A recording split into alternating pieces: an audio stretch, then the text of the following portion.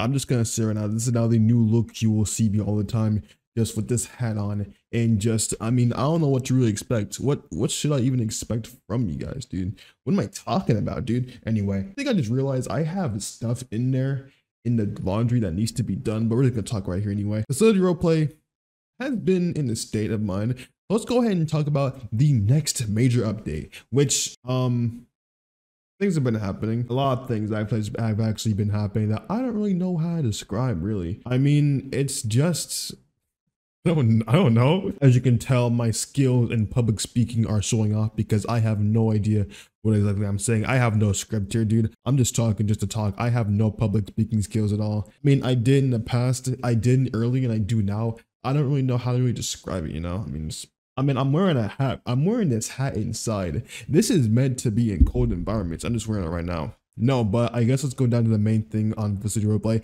is that we're now kind of increasing our levels in what we really can operate as now. 1.2 was a pretty good success. Um, the sale for the Delta Force Juggernaut has now passed away, and we are now on to other big things. Includes working on version 1.3.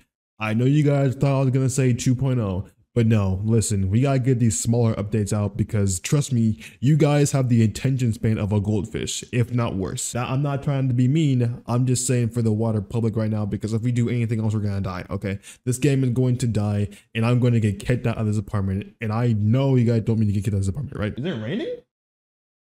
Yo, it's raining outside. It was sunlight 30 minutes ago. How is it raining now? I think it's just I think it's just starting right now. Actually, never mind. I think it's just starting, so we're gonna ignore that little fact anyway. But yeah, no, we're go ahead now into the um working on version 1.3, which will be Luca's last update here. Why? Because Luca or Luke is going to the military. He's going, he's, he's going, the Swedes, the Swedes are taking him. The Swedish military, they're grabbing him, they capture him, they're gonna take him away from us, man. It's gonna be over by, it, it's over, man. It's over. It's so over, dude. But yeah, we are working on version 1.3, and I'm going to actually go ahead and tell you the theme of this update. The theme of this update is not only BCU, it is also going to be health and research. This is a health and research combined with a BCU themed update, okay? Because health and research, y'all have been slacking. Not really slacking as in it's not your fault. We've been slacking to give y'all content. And so we're gonna go ahead and give you some of that content y'all been wanting. We're gonna go ahead and give you that content you've been desiring because trust me, so far it's just been combat, combat, combat. We need something else. And what better way to go ahead and address that is with a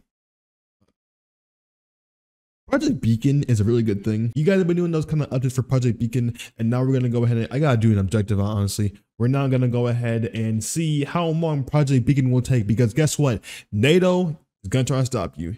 NATO is going to try to stop the release of Project Beacon, and if they can't do that, I don't know what's gonna happen, man. Things are gonna get insane and things are gonna get messed up. And listen, it's just it's just bad, okay? After this video, an, an objective is going to be live right now, which is pretty insane to think about. But yeah, um that's pretty much this, this video i just want to go ahead and address um version 1.3 and any other updates in the future if you have any questions go ahead and let me know and yeah um goodbye